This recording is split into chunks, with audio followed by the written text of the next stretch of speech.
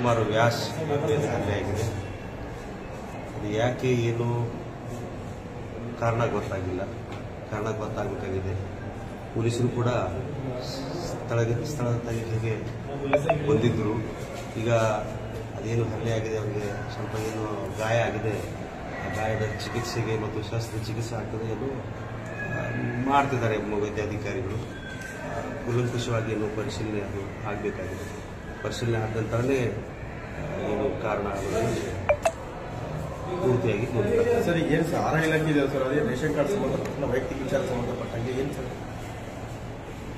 ನೋಡ್ಬೇಕ್ರಿ ಅದು? ವಿಷಯನೇ ಗೊತ್ತಿಲ್ಲ ಯಾರು ಏನು ಎಂತ ಅಂತ ಹೇಳಿ. ಅದು ತನಿಖೆ ಆದ್ಮೇಲೆ ಗೊತ್ತಾಗ್ತದೆ ಸರ್ ಈ ಕಡೆ ಎಷ್ಟು ಗಂಟೆಗೆ ಆಗಿರೋ ಸರ್ ಇದಕ್ಕೆ? ವ್ಯಕ್ತಿ ಈ ಹಲ್ಲೆ ಮಾಡಿದ ವ್ಯಕ್ತಿ ನಾವು ನಮ್ಮ ಆಫೀಸ್ದವರಂತೂ ಅಲ್ಲ. ಅಲ್ಲ ಅಂದ್ರೆ ಅವರ ಪತ್ನಿಯರ ಕೆಲಸ ಮಾಡ್ತಾರೆ ಇಲ್ಲ ಸರ್ ಇಲ್ಲ ಅದ್ರ ಬಗ್ಗೆ ನನಗೇನು ಮಾಹಿತಿ ಇಲ್ಲ. ಬಗ್ಗೆ ನಮಗೇನು ಮಾಹಿತಿ ಇಲ್ಲ. ನೋಡ್ಬೇಕು ಈಗ. ಸರಿ ಹೆಂಗಿದೆ? ಎಲ್ಲಿ ಎಲ್ಲಿ ಲೇಟ್ ಆಗಿದೆ? ಯಾರು?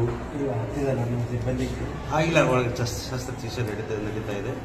ಆ, ವೈದ್ಯಾಧಿಕಾರಿಗಳು ಆರೈಕೆ ಮತ್ತು ಶಸ್ತ್ರಚಿಕಿತ್ಸೆ ಮಾಡ್ತಾ ಇದ್ದಾರೆ. ಇನ್ನೊಂದು ಹತ್ತು ನಿಮಿಷ ಹಿರಿ ಅಂತ ಹೇಳಿದ್ದಾರೆ. ನೋಡೋಣ. ಚಾಕು ಹಾಕಿದ್ದಾರೆ ಚಾಕು. ಹಾಕಿದ್ದಾರೆ ಅಂತೆ.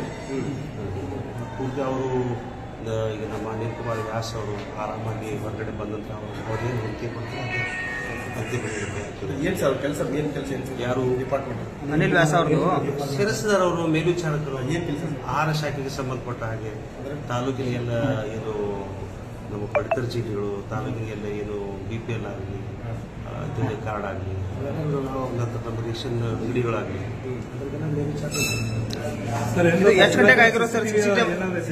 ಸಿ ಸಿ ಟಿ ವಿ ಅದ ರೀ ಆಫೀಸ್ದಲ್ಲಿ ಸಿ ಸಿ ಟಿ ವಿ ಅದು ಅದು ಕೂಡ ಪರಿಶೀಲನೆ ಕಾರ್ಯ ನಡೆದಿದೆ ಅಂದ್ರೆ tehsil officer full C C TV ಅದೇ ಕಚೇರಿಯಲ್ಲೇ ಆಗಿದೆ ದೂರ ರೆಡಿ ಸರ್ ಈಗ?